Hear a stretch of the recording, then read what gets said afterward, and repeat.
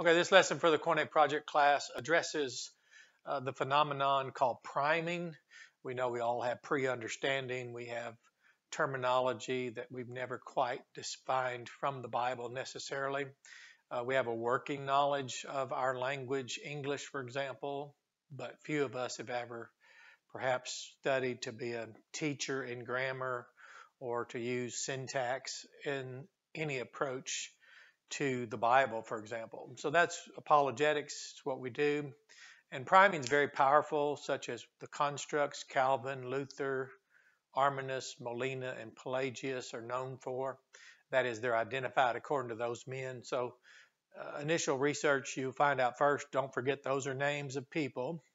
And don't forget that most of what they are today don't reflect uh, necessarily a one to one what those men actually taught and the volumes of material they might have produced. But statements that are quite remarkable. Uh, recently, another YouTube channel came out, and he's, uh, I think he's a supporter of Calvinism, it sounds like, because, but he let out with something quite remarkable. He said it's not persuasion, and he then rolled right into Calvinism and he quoted Spurgeon, saying Spurgeon said Calvinism is the gospel and nothing else. So I thought, well, that okay. So he has thousands of subscribers already, and it's resonates with people that have already been primed and heard those things. But this is a Bible class, and we're positing outward from the text. But I was quite surprised and somewhat startled when he deliberately said it is not persuasion, because I thought, first, why would he say that? And uh, let's go ahead and just remember our text, John 3 36, where it says, One who is apath, the one who is negating this alpha privative here, one who is negating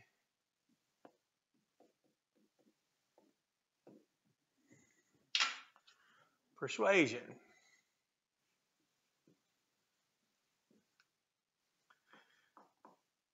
There we go.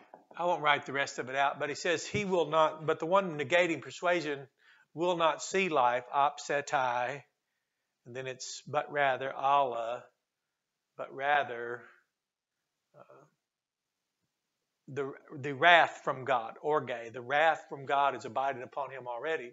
So it was interesting that he was so adamant to lead out. So whatever it is, persuasion is obviously gaining traction since it's a Bible word. Patho, for example, is translated 22 times in our Bible, the King James Bible, persuasion or persuade, some form of that.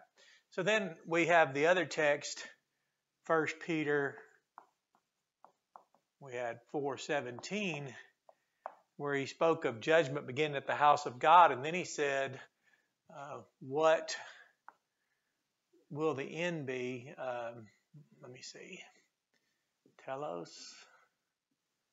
Telos. Yeah. What will the end be? And he called them of the ones tone uh, again, that, that word, it's got the negative particle again, ah, pay, then tone. And it speaks of what is the end, the end of the ones who are negating, match this alpha privative, negating persuasion.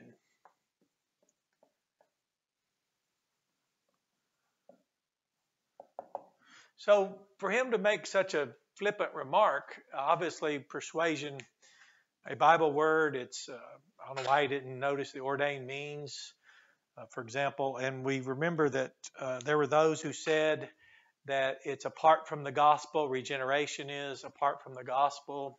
And we remember 1 Corinthians 4.15 where Paul said, ego.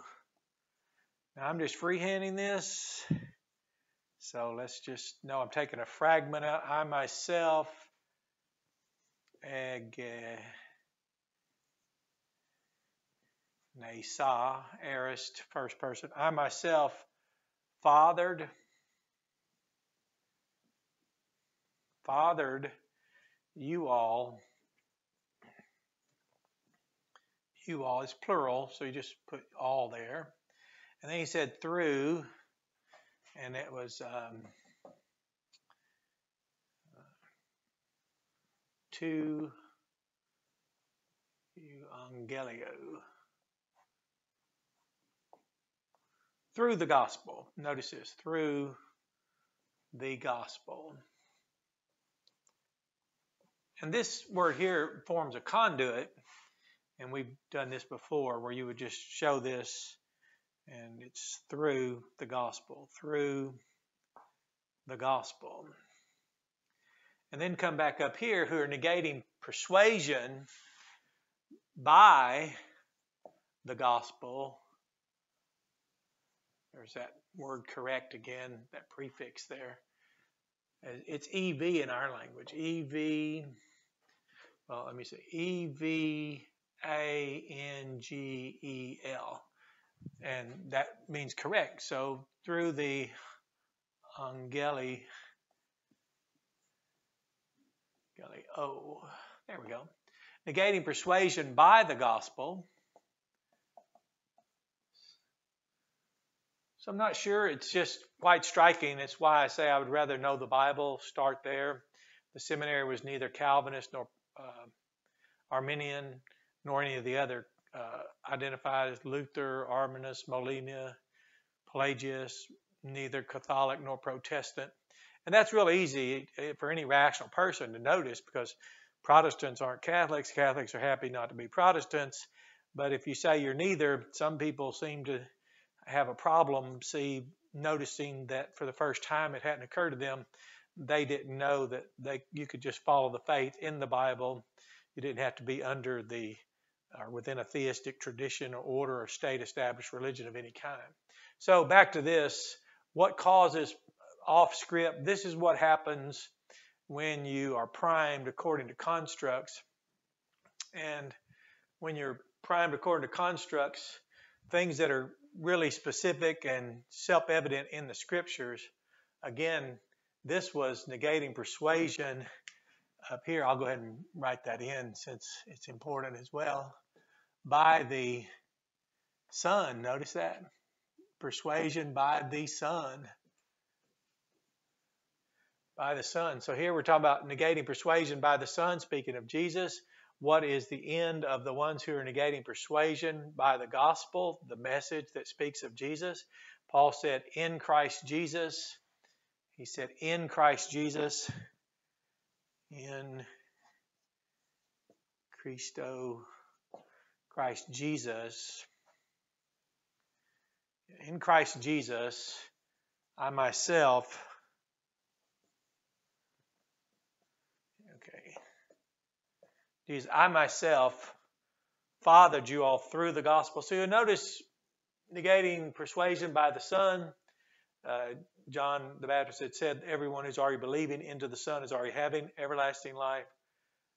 But the one who is negating persuasion by the Son will not see life, but rather the wrath from God is already abiding upon him. So this is just a quick lesson, free-handed it, just to tell you I was shocked that someone could lead out in this channel as an introduction and uh, quickly, just flippantly say, and he said, uh, it is not using the negative particle, which was quite ironic that he was saying not a negative particle, and the very text uh, emphasized the horrific peril of those who are negating persuasion. Negating persuasion by the Son, negating persuasion by the gospel, denying that we're fathered through the gospel. So those are things that are negative externalities, regrettable, egregious consequences that are incurred by being primed first or concerning yourself more with a construct rather than with the scriptures, the Bible words, and the context. So have a blessed day.